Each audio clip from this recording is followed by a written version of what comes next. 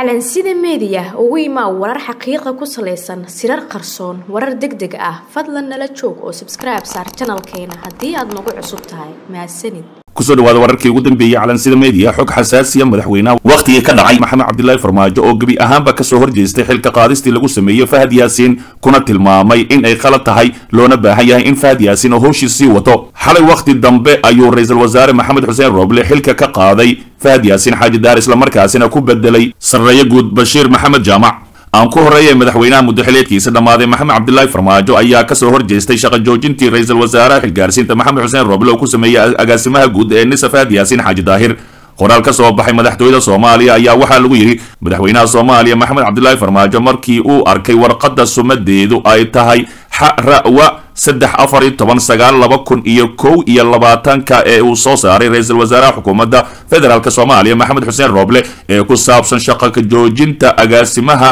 hay'adda nabasugidda soomaaliya iyo magacaabista taliyo kumeel gaar ahi. Markii uu arkay qodobka siddeetan iyo toddobaad iyo sagaashanaad ee dastuurka kumeel gaarka ahi ee jamhuuriyadda federaalk soomaaliya oo qeexaya in madaxweynaha jamhuuriyaddu uu yahay ilaaliyaha iyo horumariyaha mabaadi'da aas-aasiga ah ee dastuurka uuna yahay taliyaha guud ee ciidamada qalabka sida markii uu arkay qodobka sagaashan iyo toddobaad iyo boqolaad ee dastuurka kumeel gaarka ahi dowladda federaalk soomaaliya oo hagaya awoodaha laanta fulinta iyo xilka wasiirka koowaad ee xukuumadda federaalk soomaaliya ee ku aadan xilka qaadista taliyayaasha ciidamada qalabka sida taas oo ku eg tala soo jeedin iyo fulin howlaha horumarinta siyaasadda dhaqaalaha iyo maamulka dalka. Madaxweynaha jamhuuriyadda isagoo dareensan muhiimadda ay amniga dalka u leedahay hay'adda nabasugidda iyo kaalinta ay kaga jirto ka hortaga khataraha argagixisadu ku hayaan soomaaliya iyo saaxiibada caalamka. Madaxweynaha dowladda federaalk soomaaliya oo ilaalinaya mas'uuliyadda ka saaran joojinta tallaabo kasta oo dhiiragelin u noqon karta kooxaha argagixisada wiiqaysana sumcadda iyo kaalinta shaqo ee laamaha amniga dalka soomaaliya. Wuxuu soo saaray qodobadani kow go'aanka ka soo baxay ra'iisul wasaaraha xukuumadda xilgaarsiinta maxamed xuseen rooble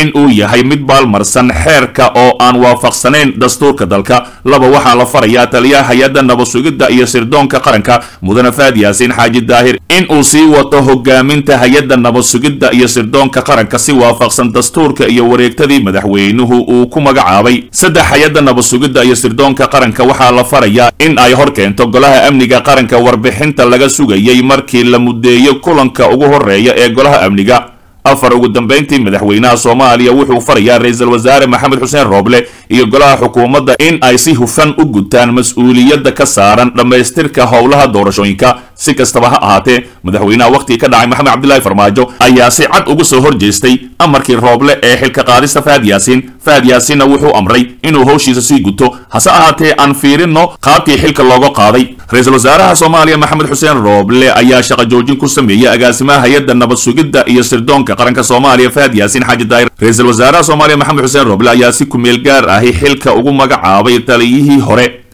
ee ciidamada asluubta soomaaliyeed sarreeye guud bashiir maxamed jaamac bashiir goobe ayaa sidoo kale ahaa taliyaha nisa intii u dhexaysay iyo xilligii madaxweyne xasan sheekh maxamuud. Rooble ayaa fahad ku amray inuu muddo saddex maalmood gudahood ahi oo ka bilaabata marka uu warqadda saxiixo rooble uu xilka ugu wareejiyo bashiir goobe rooble ayaa qoraalka uu soo saaray ku sheegay inuu shaqo ka joojinta fahad u adeegsaday qodobka saddex iyo tobanaad ee dastuurka oo ka hadlaya xaqa nolosha taas oo loo fasiran karo inuu ku eedaysan yahay dilkii ikraan tahliil faarax. Wuxuu sidoo kale adeegsaday qodobka boqol labaatan iyo toddobaad ee dastuurka ee ka hadlaya inay ciidamada dhexdhexaad ka noqdaan siyaasadda wuxuuna sheegay in fahad uu ku milmay siyaasadda gaar ahaan arrimaha doorashooyinka. Rooble ayaa dhanka kale xusay warqadii uu fahad soo saaray habeenkii isniinta ee uu ka madax adeegay amarkii ra'iisul wasaaraha ee ahaa inuu warbixin buuxda uga soo gudbiyo. Kiiska ikraan tahliil faarax muddo afartan iyo siddeed saac gudahood. Warqadaas ayuu fahad kaga dalbaday rooble in la fariisiyo golaha amniga qaranka si uu warbixin uga siiyo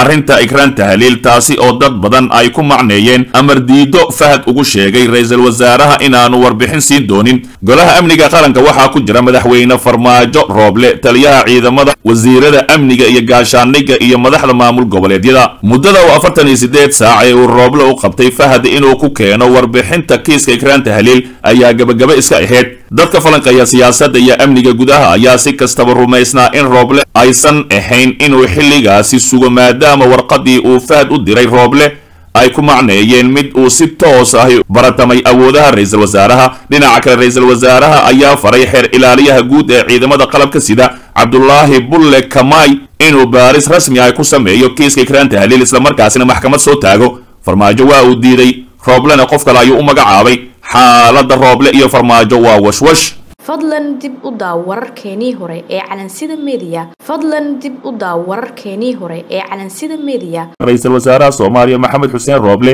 ayaa xilka qaadis ku sameeyey taliyaha nabad sugidda nisa fahad yaasiin sida wararkii ugu dambeeyey ay sheegayaan waxaana loo haystaa dhimashada ikraan tahliil wararka qaar ayaa sheegaya in si hoose warkaani u soo baxay islamarkaasina saacadaha soo socda la filayo in muuqaal ahaan loo soo tabiyo si la mid ahi waxaa jira isku dhac aad u weyn oo u dhexeeya ra'iisul wasaare rooble mursal iyo farmaajo oo dhinac ah sidoo kale muuqaal la filayo inuu soo baxo ayaa la sheegayaa in si weyn loogu bahdilay kulan jiis mareexaan oo si hoose ugu shaqaynayay xafiiskii hore loogu ceyriyey ee nisa islamarkaasina iminka tallaabo xoogan ayuu qaadayaa ra'iisul wasaare maxamed xuseen rooble. Si kastaba ha ahaatee warbaahinada qaar ayaa soo tabinaya in xilkii laga qaaday hase ahaatee miiska lagu haayo. Islamarkaasina u baahan tahay keliya in uu ra'iisul wasaare rooble soo shaaciyo dib ayaa ka soo gudbin doonaa wixii halkaasi ka soo baxa. Dhinaca kale taliyaha hay'adda nabad sugidda iyo sirdoonka qaranka soomaaliya fahad yaasiin oo muqdisho dib ugu soo laabtay ayaa ka jawaabay amarkii ra'iisul wasaaraha soomaaliya uu uga dalbaday warbixin ku saabsan kiiska ikraan tahliil afartan iyo siddeed saacadood. Rooble ayaa doraad sheegay inuusan ku qanacin sheegashada nisa ee ah in al-shabaab ay dileen ikraan tahliil oo ahayd gabar ka tirsan hay'adda nisa wuxuuna dalbaday in afartan iyo siddeed saac gudahooda madaxda nisa ku soo gudbiso warbixin dhammaystiran oo lagu qanci karo. Warqad uu fahad yaasiin u diray rooble oo ay heshay warbaahinta ayuu dalbaday in la fariisiyo guddiga amniga qaranka si uu warbixin ugu siiyo arrintaani golaha waxaa ku jira madaxweynaha wakhtigii ka dhacay maxamed cabdilaahi farmaajo ra'iisul wasaare rooble taliyayaasha ciidamada wasiirada amniga iyo gaashaandhigga iyo gudaha. Sidoo kale madaxda maamul goboleedyada qaar fahad ayaa warqadda u diray ra'iisul wasaare rooble ku yidhi annagoo fulinayna amarkaaga maankana ku hayna xasaasiyadda kiiska sarkaal ikraan tahliil oo noqday mid heer qaran ah. Gudanayna waajibka naga saaran amniga qaranka fahamsanna in dhacdadan ay si toosa iyo si dadban u qusayso xafiisyo iyo hay'ado kala duwan oo dowladda ka wada tirsan xaqna u leh inay ogaadaan xaqiiqda dhacdadaani iyo xogta ay xambaarsan tahay warbixintan aad naga dalbatay ayaan waxaan si sharaf leh kaaga codsanaynaa in aan warbixintaani ka horjeedino golaha amniga qaranka oo wada dhan oo ay xubno ka yihiin hay'adaha iyo xafiisyada arrintaani khusayso. Hay'adda nabad sugidda iyo sirdoonka qaranka waxay codsi rasmi ay u dirtay madaxweynaha inuu fursad noo siiyo qabsoomidda shirka golaha amniga qaranka maadaama uu yahay guddoomiyaha golaha amniga qaranka iyo taliyaha ciidamada qalabka sida ayuu yidhi fahad yaasiin oo marmarsiyo xoog le soo bandhigay. Ma cadda sababta fahad u diiday inuu warbixinta siiyo rooble waxaase suuragal ahi inay tahay qorsho uu xubnaha kale ee guddiga amniga qaranka kaga raadinayo taageero iyo inay ku qancaan warbixintaasi taasi oo gees u riixi karta ra'iisul wasaare rooble la taliyihii hore ee amniga qaranka soomaaliya xuseen macalin ayaa arrintaani ku macneeyey ila meerayso cusub oo uu fahad ku doonaya inuu khilaaf uga dhex abuuro dowladda soomaaliya. Dhegaystow ogow haddaadan xalka qayb ka noqon waxaad qayb ka tahay dhibaatada dalka